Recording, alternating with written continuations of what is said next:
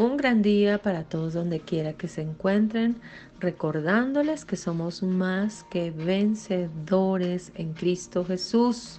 Así que hoy quiero que tú mismo proclames, yo he vencido con la ayuda del Señor todo obstáculo y toda dificultad. Primera de Juan capítulo 5 versículo 4 porque todo aquello que es nacido de Dios vence al mundo, y esta es la victoria que vence al mundo, nuestra fe. Póngase el escudo de la fe contra toda acechanza del maligno y venza todo dardo del enemigo que quiera lanzar contra usted, desde que comienza el día hasta que se acuesta, siempre recordando que el poderoso, el ganador, está con nosotros y Él está todos los días con nosotros ayudándonos. No baje el escudo de la fe, la palabra poderosa, recordando que Dios está contigo y Él es tu ayudador y que la fe venza todo obstáculo, declarando y convencidos de que tenemos la victoria. Así que en cualquier circunstancia o necesidad, recordando siempre la palabra de fe. Si tuvieres fe como un grano de mostaza, le dirías a esa montaña, quítate.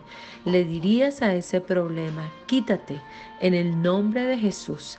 Y recuérdalo y proclámalo. Y entonces Jesús dijo, y nada será imposible para ustedes.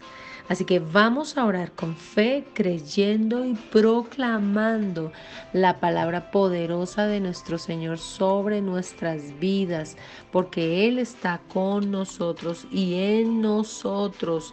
El Dios Todopoderoso nos ayuda y nunca nos dejará solos. Amén. Entonces cierra sus ojos ahí donde estás. Vamos a a orar. Señor, te damos gracias en esta hora. Proclamamos, poderoso Dios, que tu palabra es verdad y que todo lo que pidamos en oración lo recibiremos. Y Señor, así lo declaramos. Nos ponemos de acuerdo en oración para proclamar, Señor, protección sobre cada persona que nos está escuchando.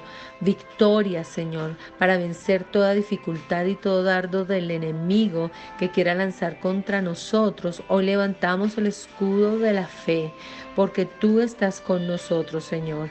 La fe es la garantía de lo que se espera y la certeza de lo que no se ve. Por eso andamos por fe y no por vista y nos movemos por medio de tu Espíritu Santo, dejando en tus manos cada vida que nos escucha, cada familia, la iglesia, las naciones de la tierra, Señor, Israel y a Colombia. En el nombre de Jesús. Amén. Un feliz lunes.